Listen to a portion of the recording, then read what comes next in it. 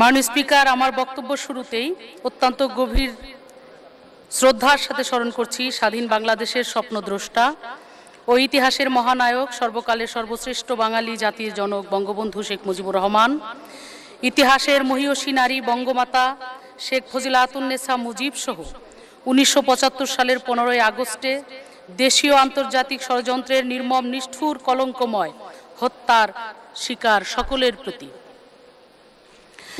প্রশ্ন জাগে মনে, জাতি হিসেবে আমরা কতটা অকৃতজ্ঞ? কেননা, যার নেতৃত্ব ও সুদক্ষ সাহসী সাংগঠনিক তৎপরতায় এই দেশের স্বাধীনতা অর্জন করতে পেরেছি, অথচ নিজেদের স্বার্থে অবৈধ লাভের আশায় সেই জাতির শ্রেষ্ঠ সন্তানকে নিজ হাতে আমরা হত্যা করতে চেয়েছি।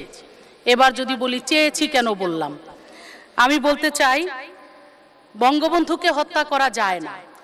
বাঙালি জাতির পিতাকে হত্যা করতে তারা পারেনি। সেই জন্যই আমি আমার একটি ছন্দে গেয়েছিলাম। মাননীয় স্পিকার, আপনার অনুমতিক্রমে আমি সেই কথাটা, সেই সুরটা একটু জাতীয় সংসদে দিতে চাই। সর্বকালের সর্বশ্রেষ্ঠ বাঙালিকে উদ্দেশ্য করে আমি আমার একটি গানের মধ্যে এরকম বললাম, লোকে বলে বাংলায় যতদিন রবে, ওই পদ্মা মেঘিনা বহমান। ততদিন রবে, কীর্তি তোমার তুমি, শেখ মুজিবুর রহমান।